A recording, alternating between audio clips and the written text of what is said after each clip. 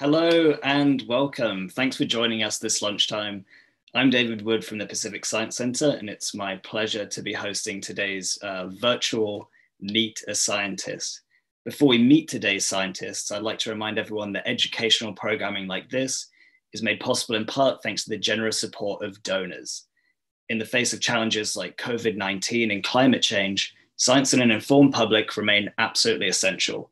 So, to help us ensure that curiosity never closes, or for more information about donating to the Pacific Science Center, please visit pacsci.org forward slash support.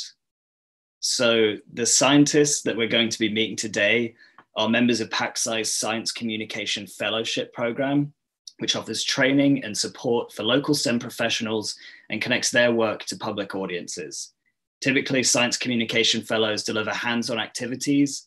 That's at our Meet a Scientist event, usually twice a month on Saturdays at the Pacific Science Center, Obviously, at the moment, our doors are currently closed for obvious reasons, but we still wanted to provide the opportunity to meet some of the fantastic local scientists who have committed themselves to public science communication.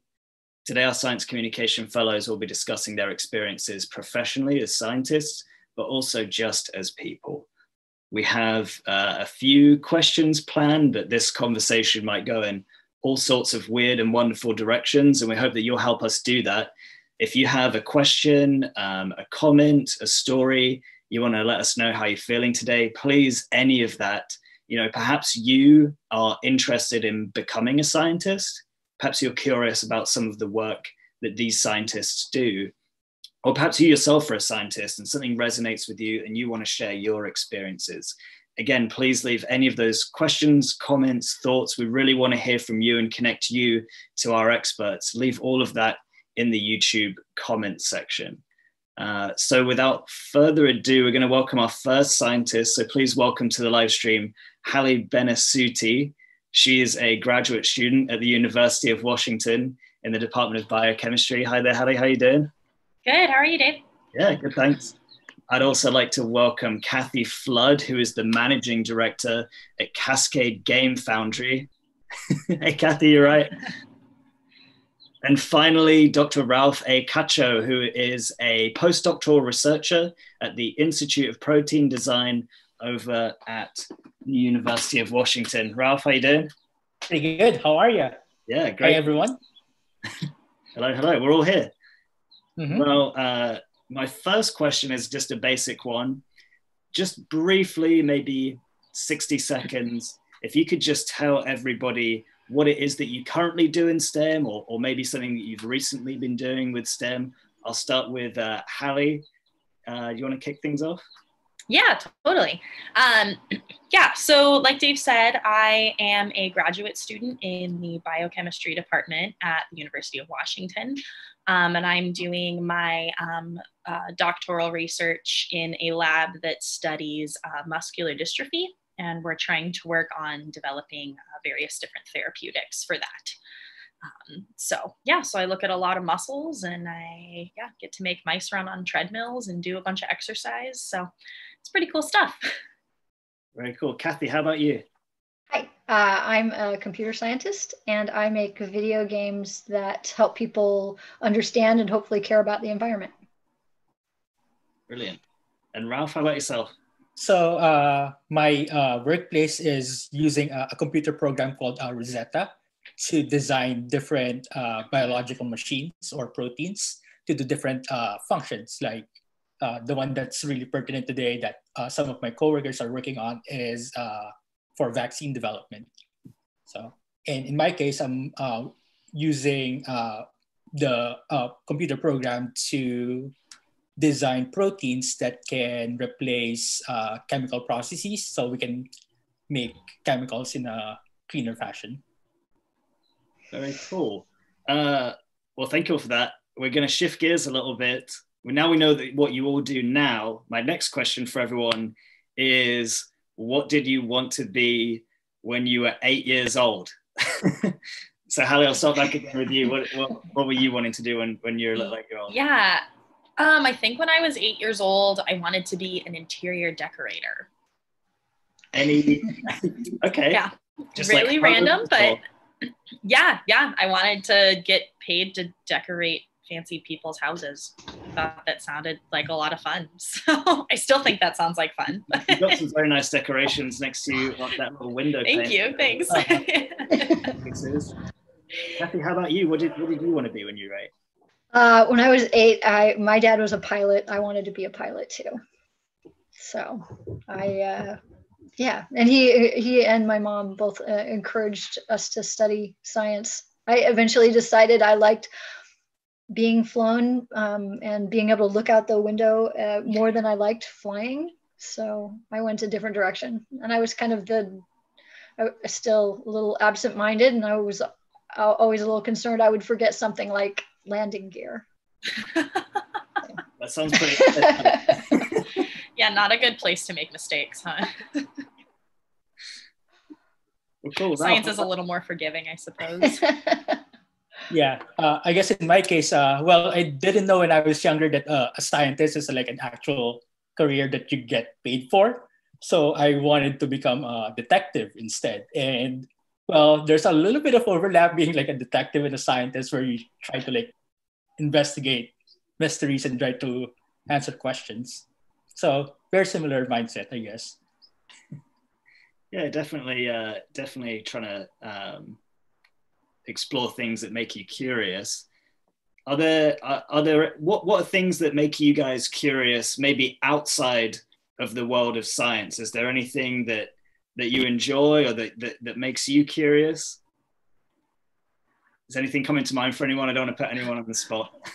Oh Well, part of uh, I grew up out in the country, and so I was always um, fascinated by the creepy crawly things in the in the grass and looking at the bugs and the animals and uh, wild animals. Um, when I got older and I started um, swimming, then I wanted to know what was in the water. I wanted to stay down as long as I could. Um, eventually, became a scuba diver.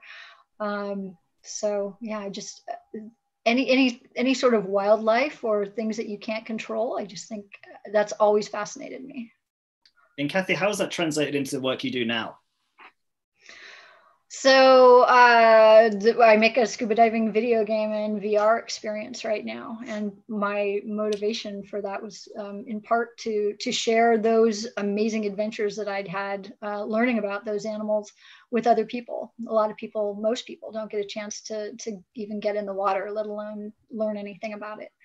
Um, and through a video game or vr you can let them do that without getting uh, without getting wet hopefully they'll be inspired to get wet and get in the water someday. Mhm. um, but i've always wanted to share those experiences with with other people.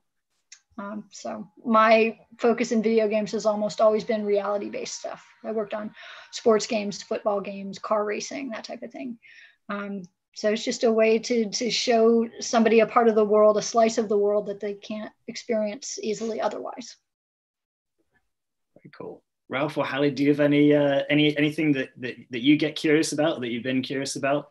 Well, uh, I guess for me, uh, recently, um, well, my friends are playing a lot of uh, Animal Crossing, and they were chatting about uh, turnip prices, and then like I was really curious on like how like the turnip prices like flop, uh, like change, and it kind of is reminiscent of like like economic models. So I got really curious about uh, on on looking at like more of like uh, of uh, the economics in in different like video games.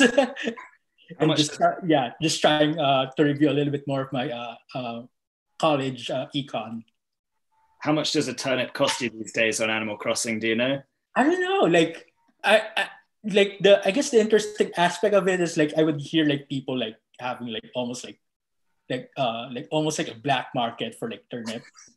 And they would like have prices that are are not like the equilibrium price and like like the for the for the economy. okay halli do you have anything that comes to mind Um, I really love plants and I love foraging for edible plants outside. Um, so that's uh, yeah, that's been super fun since we haven't been able to you know get out a lot and everything with quarantine and stuff. I've been trying to show some extra love and care to my house plants and show that they're yeah make sure that they're doing well because they have not they were not doing that well up until quarantine and i think now that i'm home more i'm realizing like how well they weren't doing Um, so yeah, also got a few new ones too. So also introducing them to the family and making sure they feel comfortable and at home. So it's always nice to hear a, a little success story during COVID 19, the, the house yeah, right? relishing it. It's the Groundhog um, Day thing. yeah. Right? Right? We're trying to, I, I'm trying to practice a little more, trying to take care of things on the to do list. exactly. Yeah. So I've done quite a bit of uh, reading also. Like uh, I'm reading uh, Robinson uh, Crusoe, and I'm thinking about reading uh, The Martian, which is like yeah. uh, that kind of uh, kind of reflects uh, what uh, everyone is going through right now. yeah, I mean, so so speaking of COVID nineteen, um, how how have things changed for everyone um, with with the work that they're doing? Um, Ralph, should we start with you? How's, how, uh, sure? Yeah. Uh, well, uh, protein design. So for my work, we used to do both uh, computational and uh, uh, and wet lab work. So all of us, pretty much, uh, except for the people who are uh, dealing with uh, vaccine development, so every one of us except those group of people are doing computational work uh, 100%. So yeah, we have to go back and review a lot of our uh, computational knowledge. Like for example, uh, a month ago, there was uh, a Python bootcamp for uh, for the people who are using uh, our software package, and then we went through that training just to learn some more, more about the computational methods to design proteins. And understand that there's been some pretty interesting um, video games or kind of gamification of protein design, and especially around COVID 19. Could, could you explain what that is to folks? So, in uh, I believe that's with uh, the Foldit. So, uh, hmm. so Foldit is a game that uh, lets uh, players uh, design their own protein. And then in this case, what they're trying to design is uh, a small protein that can bind to the protein that recognizes uh, the uh, target protein in humans, so the, the spike protein. So uh, what uh, the the game, like the level for the game is doing is they're trying to design something that can bind to the spike protein so that Oh no, Ralph's frozen. oh no. You froze just at the end there, Ralph. You, are back now. Don't worry. Sorry why don't we move on? Um, Kathie, how about yourself? Um, what, how has how has COVID nineteen changed things for you? So in some ways, it hasn't changed that much because we already worked from home. We made the decision with our tiny little company that we uh, wanted to work from home. Um, uh, from a financial standpoint, it makes more sense. From an environmental standpoint, it makes more sense. So it's interesting to see I, I, hope this results in some changes for other companies recognizing that you don't need to have an office. I mean, the internet's there; you can kind of work from anywhere. So, um, so in that way, it hasn't changed. Um, we've actually been uh, we've gotten a lot of requests. We make our uh, scuba diving simulation game available free to teachers and schools, and so we've gotten a lot of um, requests for homeschool situations, and we provide it for that too. And then um, we're also uh, we partner with some people in the scuba diving industry the people who make masks and wetsuits and that type of stuff. And a lot of those small businesses the dive shops have really been hurt by the fact that you can't go diving in the real world. So we've made uh, copies of the game um, or codes for, for, the game available to them so they can reach out to their audiences. Maybe they can dive virtually if they can't go diving in the real world just as a means of trying to to keep um, interest in the, in the sport and in the environment um, front of mind while this is going on. So in that way, we've been um, a little bit busier, which is a little strange. Uh, How many people work at your um, company, Kathie? Uh, four. Okay. Um, oh. But uh, yeah, we we uh, we have side gigs too. So those are uh, you know, it's, it's a small uh, labor of love, that's for sure yeah. And do people, so a lot of this is sort of commissioned then? Or do you uh, like design a game? So for like the scuba shops, right? Are you designing a game and then pitching it to the scuba shop saying, hey, here's something you can do? Or did a scuba shop come to you and say, hey, we need? No, actually, uh, the, we we build the game ourselves, um, and right. we build slowly. Uh, we built two different um, locations so far. So one in Micronesia, that's a World War II shipwreck, and a second one that's in Belize. It's a big open reef, and that site uh, came because we're working with uh, Sylvia Earle, and that's one of her favorite dive uh, dive spots. Um, and then the third one we're building is the Pacific Northwest, um, Puget Sound, Salish Sea, which um, because we do a lot of school outreach and we've realized that so many people around here don't know anything about what's in their own waters. So we build the game. Um, we just made it uh, available for any of those dive shops. We just gave them code so they could download it. Um, we would love to build sites on commission. That would be super sweet. yeah. Um, it's uh, everyone is kind of a, a, a, new research project, so you have to research all of the the wildlife that's there, the the conditions, um, what the history is, um, what the environmental issues are. You unlock little little pages of information that tell you about the area and the wildlife in the game. So every one of them is kind of a, a long research project. Yeah, that's so cool though. Mm-hmm. Yeah, it's been a lot of fun. So do you uh, take the live footages uh, from under the sea or how do you uh, get the, so uh, the internet makes things really easy there's a lot of stuff that's available online you can get um, uh, kind of the shape of the area through the usgs um, mm-hmm. just free information um, we are divers ourselves, so we'll take some pictures. And then honestly, YouTube has tons and tons of stuff. And then we, we uh, through the, our contacts in the environmental world, we find people who are experts in those areas that can tell us about the distribution of the, um, of the animals and the plants and um, uh, just different stories that are, that are specific to a, a specific area. So.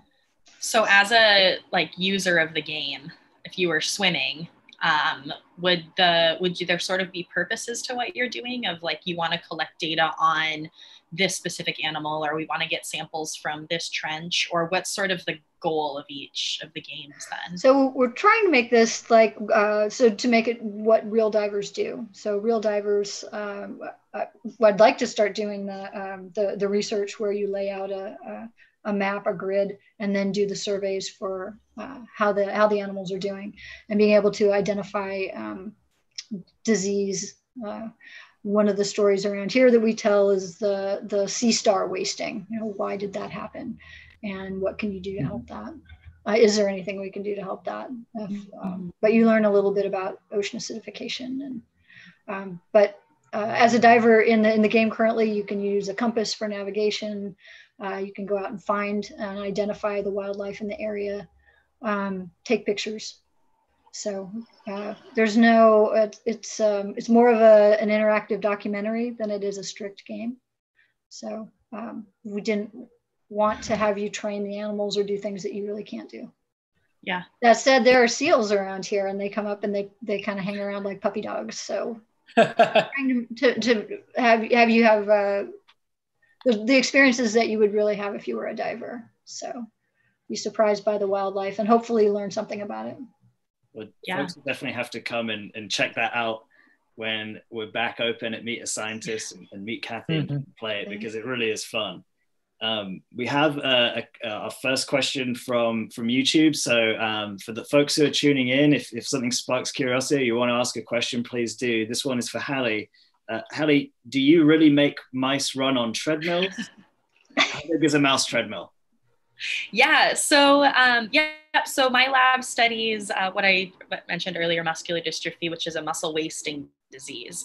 And so what happens in humans that have this disease is as they get older, their muscles start to atrophy away um, and you just lose strength and there's no way to really counteract it. And that's what we're working on developing. So we actually have mice that have the same disease so that we can study what's happening in the mouse and then hopefully be able to figure out um, some sort of therapeutic for the mouse that then we could put into humans.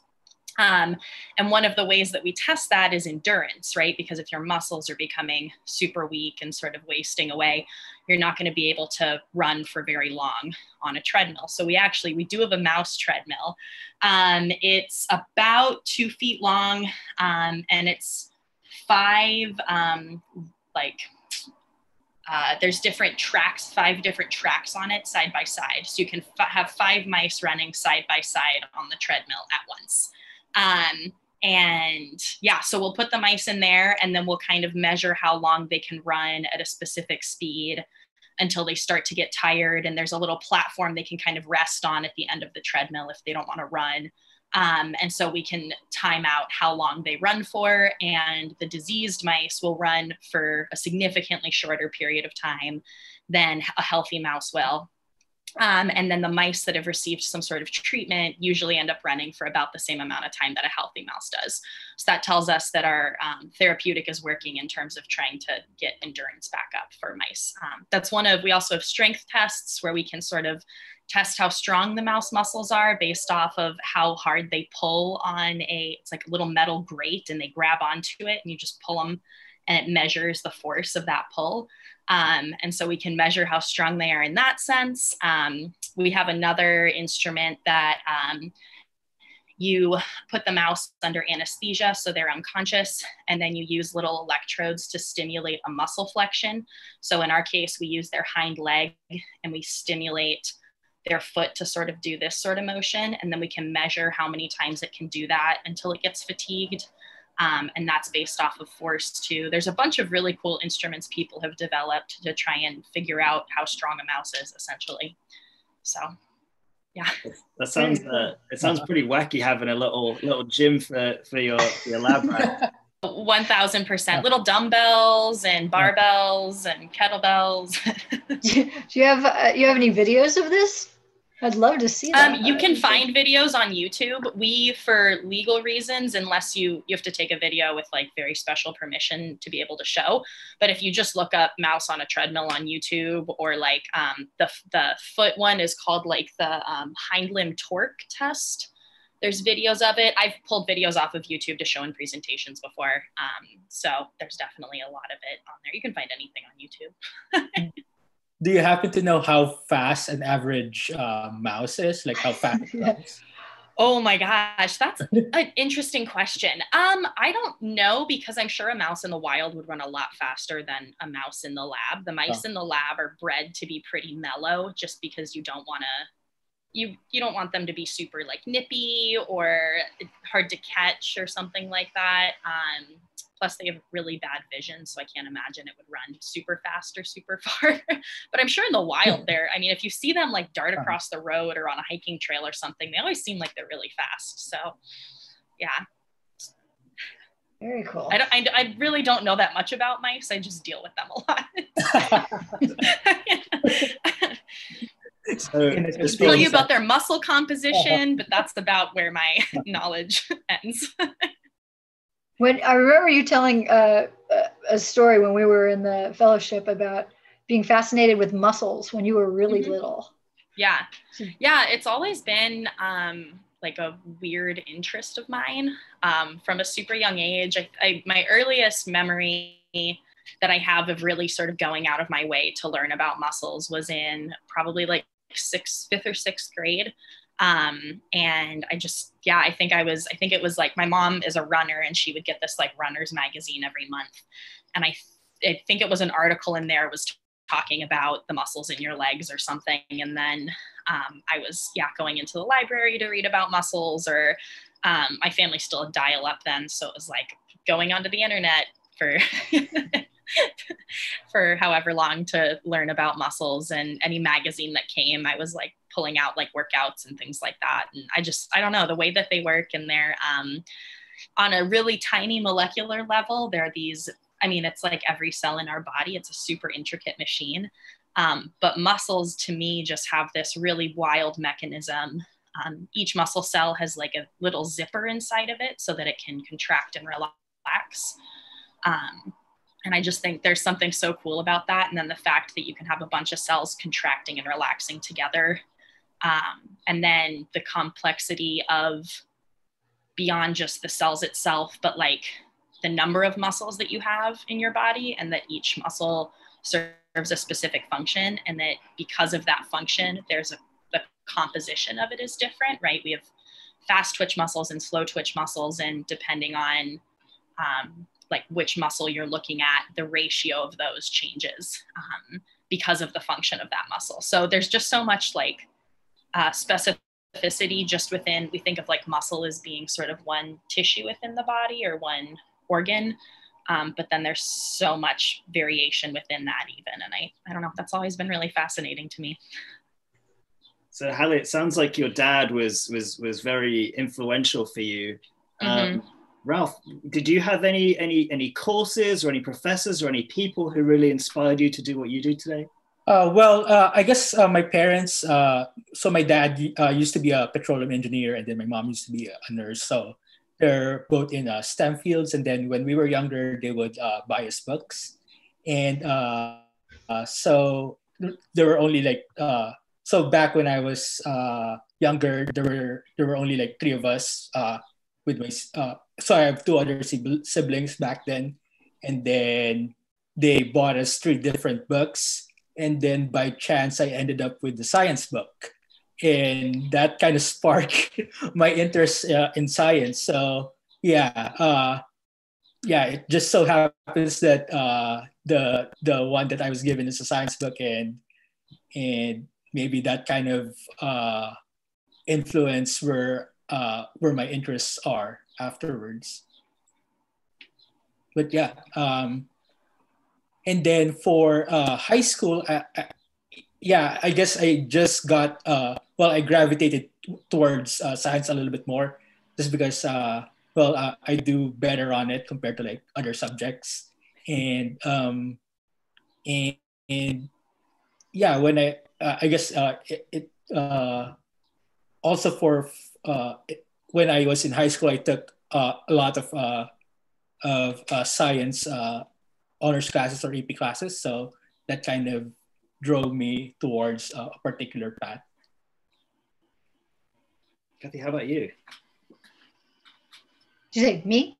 Oh, yeah. uh, I, I, grew up. I grew up in Iowa and uh, went to uh, in a, like in a little town, 3,200 people, um, right outside of Des Moines. And for whatever reason, I hit the jackpot on uh, on science teachers. We had three amazing science teachers that were just they made it fascinating. And I love how uh, you talking about the mice. I, I, remember the mice that lived in our lab, and um, yeah, we got to do uh, we we got to take their appendix out in one class. Um, and so we had to do the anesthesia and, and, and bring them out of it. And it was, um, yeah, we just had really exceptional teachers who loved what they did. Some of them were, uh, we did some physics experience or experiments where we shot arrows way too high and they went through the roof of a building when they came down. Probably not the best. It made an impression on me. um, but yeah, they, they, they, they were just fascinating teachers who uh, made it a lot of fun to go learn things. Um, they taught us how to think. And I think I I take that with me even now. So, Kathie, your work is inspiring some comments. Uh, Sarah says, This is great, by the way. My mom would not let me play any video games growing up unless they're educational. So you're definitely filling that market.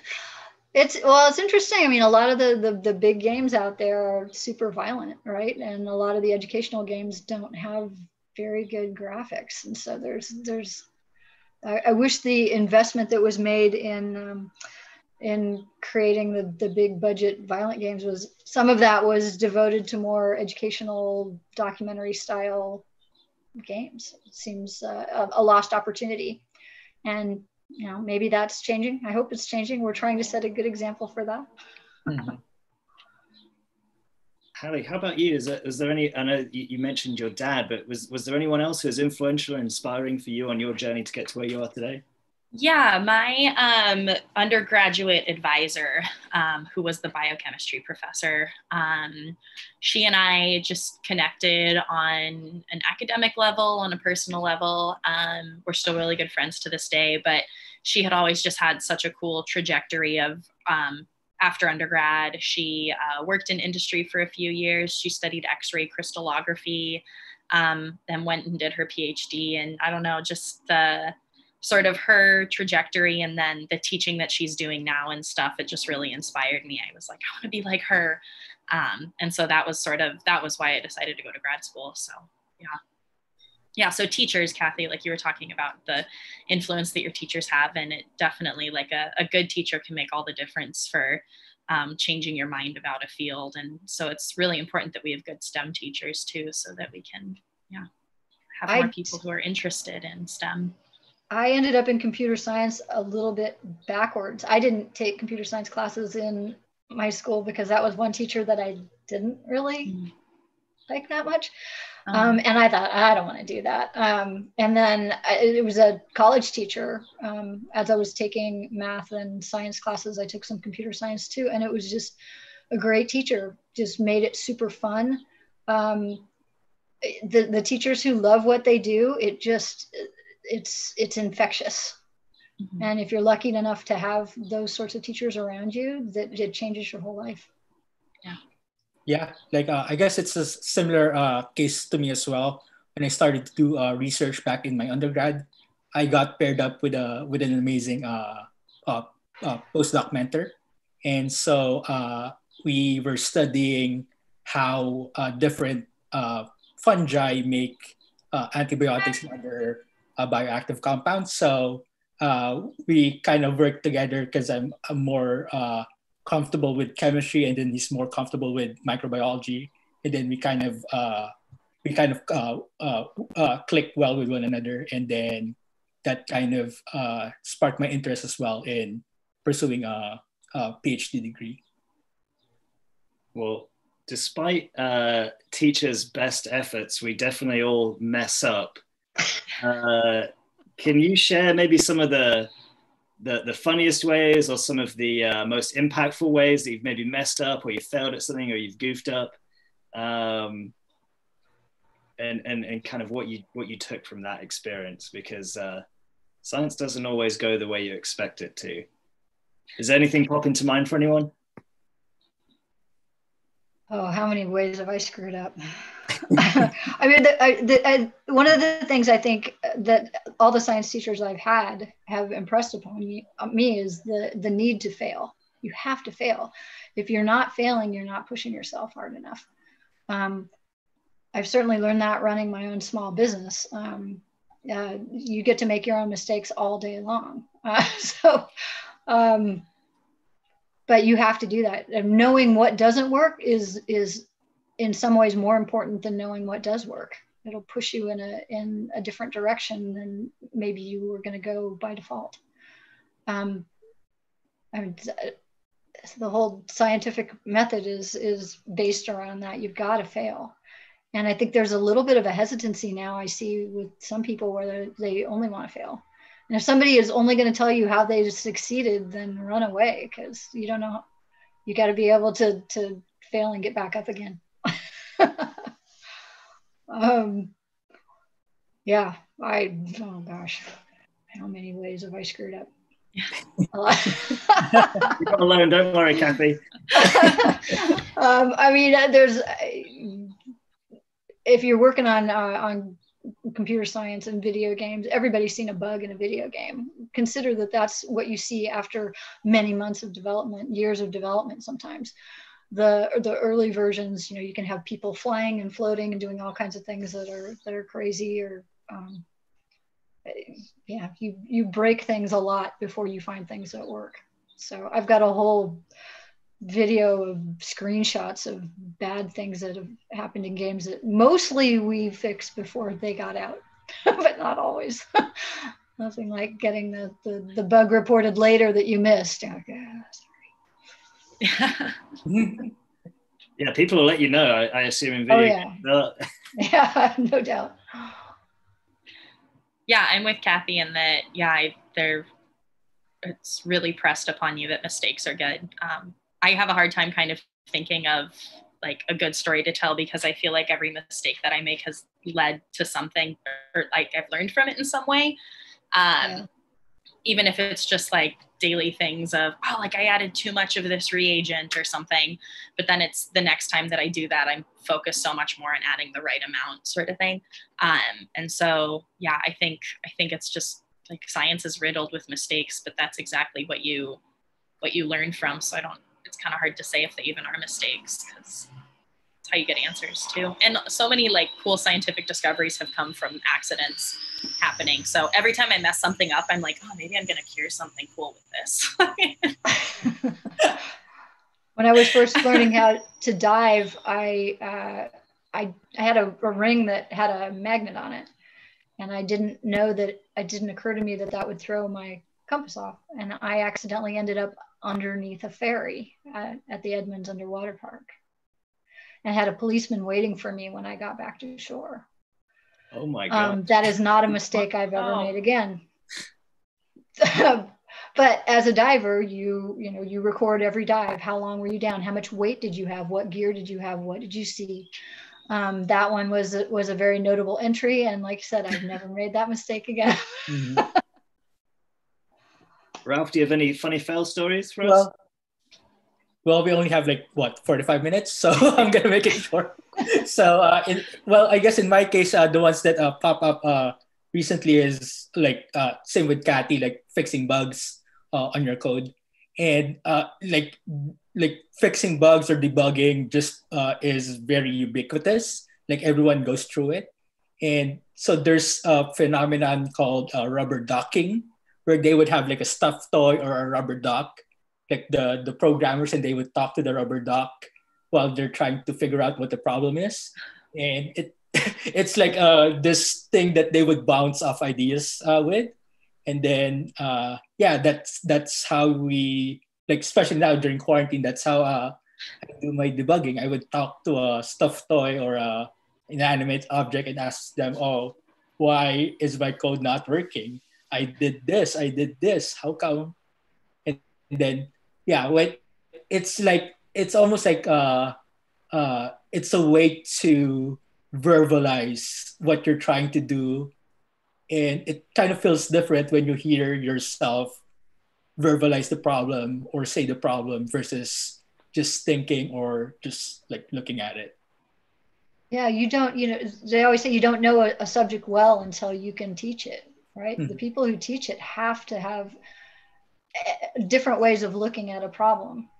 And so if you can just talk around it and talk around it, eventually you can talk yourself into the, oh, that's what I missed. Ah, okay. All right. All right. All right. We're getting some great comments. Uh, a lot of folks are appreciative of, of, of, of, you guys taking the time to do this today. And, you know, especially for, for kids who are at home being homeschooled.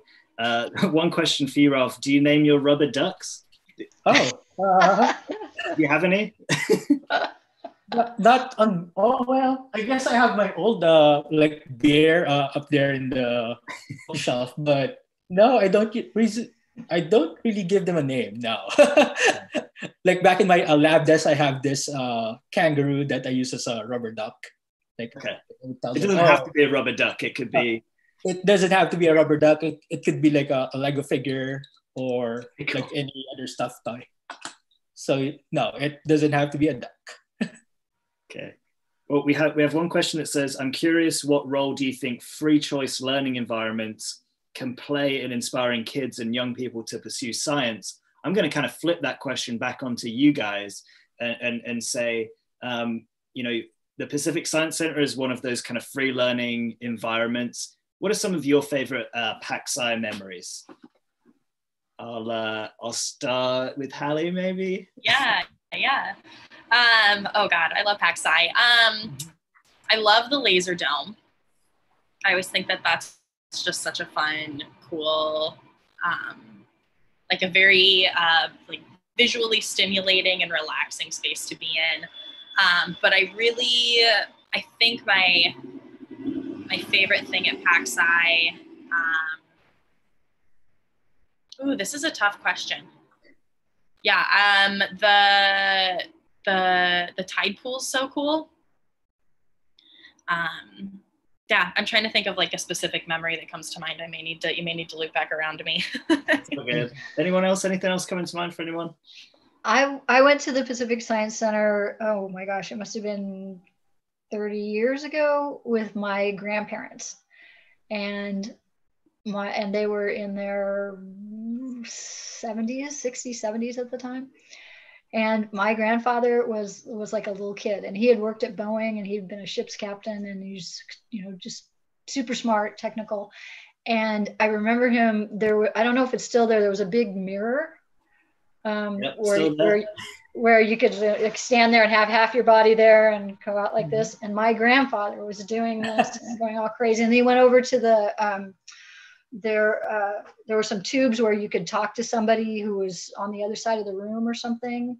I mean, he went, he went from, from object to object through the entire museum like he was 10 years old and just and he got and he was explaining the science of this and that. And and my grandmother and i were it was it was another one of those things just super infectious. He would just wanted to understand everything. He wanted to, to look at this. And there was a you know there was the big map of um, seattle and the tides and stuff and how the how the water works in that area and he he wanted to talk about that and taking a ship through the uh, uh, the Straits of Juan de Fuca and stuff like that. Anyway, it was it, just one of my favorite memories of. It made me, you know, I was um, old enough that I was, you know, a little more reserved. And I'm like, I don't have to be like that. He's, you know, how old is he? And he, so now I try to approach that, approach um, museums in the same way. I tried to channel my grandfather. He just went in with all this energy and, an open mind and he didn't care who was watching or what was going on. And it was such a good lesson for me to get about oh that's this is not limited to to little kids. This is something you can do your whole life. That is awesome. That's so great to hear Kathie, that reminds me of um, last time I went to the Pacific Science Center. There was this older gentleman who was there by himself, same thing, just like having the time of his life. And it was really cool to see that, yeah, like anyone can be here. Like bouncing up and down on this platform or like touching this or interacting yeah. with that. And it was really cool. Like not there with kids, like just there to have fun and enjoy it himself. And I just thought that that was so cool. Is there, there used to be a bicycle that you could uh, pedal to turn the lights on. Yeah, yeah. There's, I remember that one too. Bicycle that goes above the water. Yes. Scary if you're uh, if you're scared of heights. It's not for everyone. Ralph, how about yourself? Yeah, I guess in my case, uh, uh, there's like two. Uh, one would be uh, the Tinker Tank, where you get to build your own like mini devices, like from all the uh, crafts uh, supply, and yeah, it just uh, it's almost like a uh, like a sandbox for whatever you want to build, so you can explore uh, building like I don't know, like Lego, uh, Lego figures, or like a uh, origami, or even uh, a small uh, like robot. And yeah, that's uh, really exciting. Just uh, the experience of uh, building something uh, from uh, the things that you uh, that you see around you. And then the second one would be um, the meet of uh, meet a scientist event. Just talking to people and uh, sharing uh, science with uh, with uh, little children. Like so, getting uh, uh, passing on the curiosity and uh, enthusiasm to uh, to a new audience. Yeah.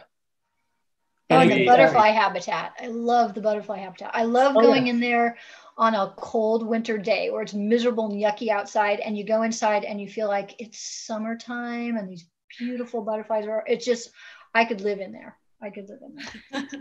Seattle in the wintertime, that is a good remedy for sure. Yeah. yeah. Uh, we are pretty close to the end now, so we'll just very briefly ask one final question to everyone.